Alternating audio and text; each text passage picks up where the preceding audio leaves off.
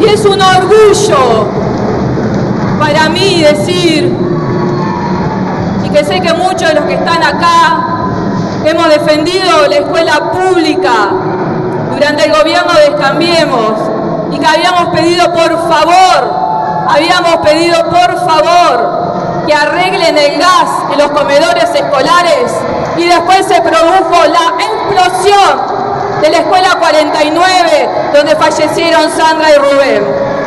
Por Sandra y Rubén nosotros le debemos que todas las instituciones educativas de Moreno estén en condiciones dignas.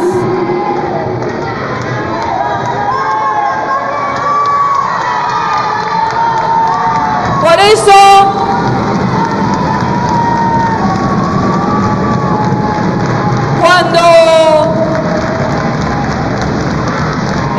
escucho ¿no? a la militancia de Juntos por el Cambio visitar escuelas, les digo que son unos caraduras y que no tienen autoridad.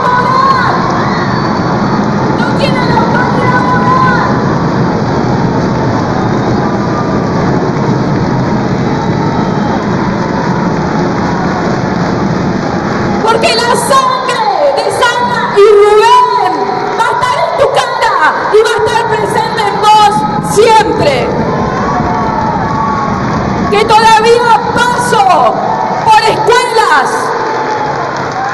donde el Consejo Escolar Intervenido tenía que hacer obras y estafaron a las escuelas, empresas que se robaron un tinglado, un tinglado que había hecho la comunidad y nunca fue sustituido.